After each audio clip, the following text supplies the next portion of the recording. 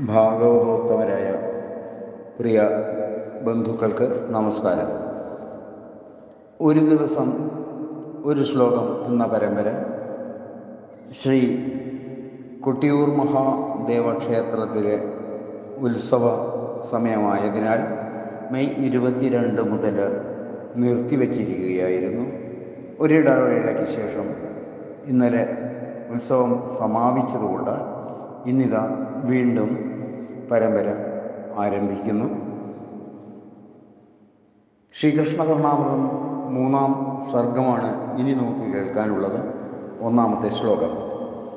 അസ്തി സ്വസ്ഥേനം സമസ്ത ജഗതാമഭ്യസ്തലക്ഷ്മീസ്തരം വസ്തുധ്വസ്തരജസ്തമോഭിരനിശം ന്യസ്തം പുരസ്താദിവ ഹസ്തോദസ്തഗിരീന്ദ്രമസ്തകതരു പ്രസ്താരവിസ്താരിത സ്രസ്ത സ്വസ്തരു സൂന സംസ്തരലസത് പ്രസ്താരാഹാസ്തുതം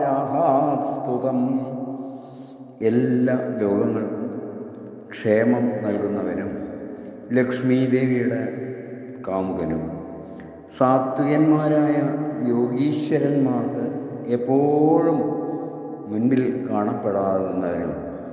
കയ്യിൽ ഉയർത്തിപ്പിടിച്ച ഗോവർദ്ധനത്തിന്റെ മുകളിലുള്ള മരക്കൂട്ടങ്ങളിൽ നിന്ന് പരന്ന് പൊഴിഞ്ഞ കൽപ്പവൃക്ഷപ്പൂക്കളുടെ വിരിപ്പിൽ ഇരുന്ന് നല്ല പ്രസ്താവനയോടുകൂടി രാധാദേവിയാൽ സ്തുതിക്കപ്പെടുന്നവനുമായ അത്ഭുത പ്രഭാവനായ ശ്രീകൃഷ്ണൻ വിജയിക്കരുളുന്നു സർവത്ര ഗോവിന്ദനാമ സങ്കീർത്തനം.